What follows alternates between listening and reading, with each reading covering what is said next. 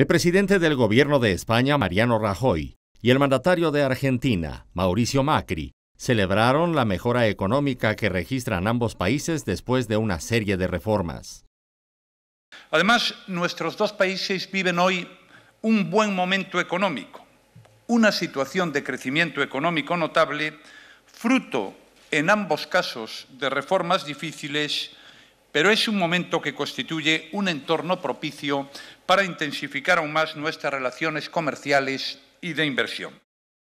El gobernante español también aplaudió las reformas económicas impulsadas por Macri en sus primeros dos años de gobierno, ya que ello ha permitido que las expectativas de crecimiento sean positivas.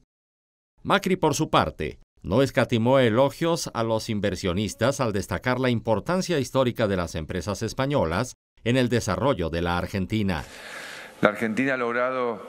crecer,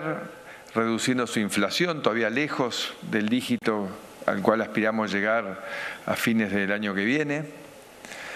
reduciendo impuestos, reduciendo el gasto, y todo eso creciendo, creciendo, y eso no pasaba hace 100 años en nuestro país. Como les dije hace un año en España, los argentinos aprendimos de nuestros errores,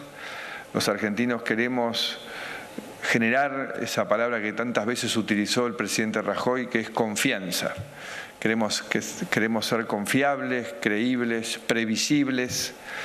y por eso estamos trabajando en mejorar nuestra institucionalidad todos los días, en fijar reglas de juego bien claras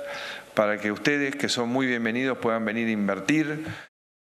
La gira de Rajoy se realiza en medio de una fuerte expectativa porque hacía una década que un presidente español no visitaba a Buenos Aires, debido a la tensión que marcó la relación bilateral durante el gobierno de Cristina Fernández de Kirchner. Notimex